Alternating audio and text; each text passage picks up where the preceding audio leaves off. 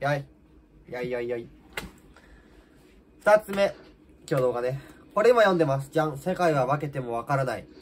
これね、知ってる？福岡伸一さん。生物と無生物の間のさ、人なんだけど、この人生物学者？分子生物学者かなんかなんだよ。でね、いや、これ面白いのがね、あれ、小説っぽい文体なの。でも話が難しい。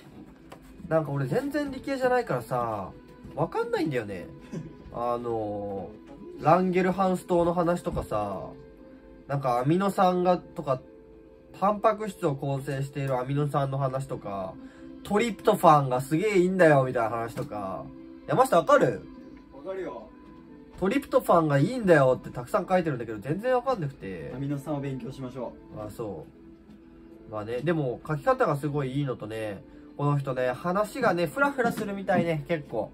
こっち行ってると思ったらまた全然違う話してる。でも一応戻ってるみたいな。この人がずっとフラフラしてるけど、この人の幅の中心がちょうど言いたいことなんじゃないかみたいな、そういう感じの本。で、途中まで読んで、んってなってから、俺後書きまで飛ばして読んじゃった。これ時々やるんよ。本読んでてつまんなくなった時は、後書きまで飛ぶ。後書きってまあまあおもろいから、最後の方。で、後書きつまんなかったらもうぽい。で、後書きが面白かったら、まあこの中間ちょっと埋めるかってまた読むか、まあ一旦置いとくかってするか、ステイになるんだけど、今回ね、この中でね、出てきたのがね、あのね、星についてね、だ視線について話してるところがすごい面白かった。視線を感じるってさ、言うじゃん。う、うん、日本語で。あれ変じゃない？なんで？非科学的じゃない？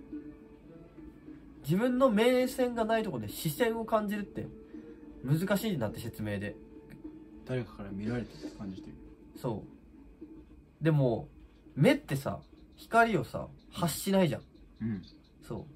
人間の目の奥に小さな炎みたいなのがあって、うん。そこが光源となって何かをやってるっていうんだったら感じ取るっていうのが理屈がいくんだけどそういうものがない中で視線を感じるっていうのはもちろんあのー何？えーと全くここから出るものがゼロじゃないってことは分かっててみんなも想像したらいいのが猫夜の猫の目とか、あの築地の市場とかに上がってるマグロの目とかさあ前田ちょっとくすんでたりするけどまあなんか反射板みたいなのが目の後ろについててそれがこう光を反射してでまあ網膜に映るんだけど、まあ、それがまだ目からも出るから人間もほらあの写真撮った時赤目になっちゃったりとかさちょっと光量が強いとことか場合によってはちょっと光ってるように見えたりすることもあるけどまあそれぐらい微弱なわけよ。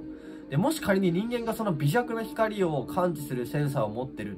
でそれを視線を感じるって呼んでるんだったら人間の目の器官ってとんでもないよねみたいな話を書いててその時にこの人が引用してたのがね「夜空の星はなぜ見えるか」っていう本の名前かな？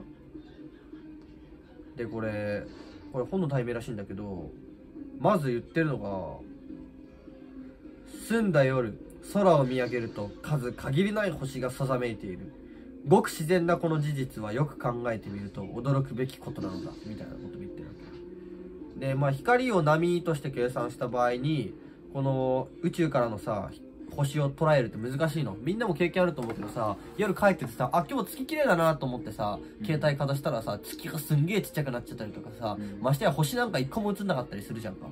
そう。だから星からやってきてこの地球の人間の目に入るまでの光のエネルギーはめちゃくちゃちっちゃい。うんでもカメラとかだったら検出できない。だから、なんか30秒ぐらいシャッター開けっぱなしにしてうん。光量を増やしてやっとカカメラで撮れるみたいな感じなわけよ、でも逆人間の目はすごいわけよ。うん。これを捉えてるわけだから。うん。でも普通にやったら何？30秒ぐらいずっと見てないと見れないっていう考える方が、えー自然らしいんだけどまあ光はなんかこれよくわからんけど難しいが波であり粒子であるみたいな感じらしくて光が粒子だったらそれができるんだって。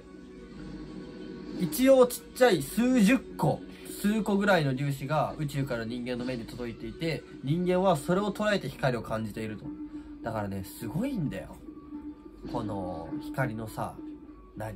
センサーって。だからもしかしたらそのぐらいの人間が何かを見例えばカフェのライトから得た光を目に中に取り込んで網膜で認識してでかつ反射板の残り魚から進化した時の残りのその反射板みたいなのから発せられる微弱な光量を自分たちは自分の目線ちょっと外れたとこにその光量が来た時にそれを感知するっていうのを視線を感じるって言ってるのかもしれないっていう話とか。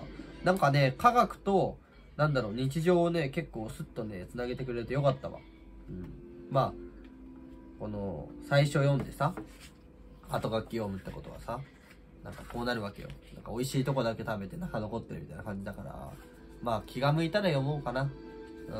ちょっと難しかったかな。専門外感はある。まあ良さそうな本ではあるからね。もうちょっと付き合っていこうかなと思うわ。終わり。またな。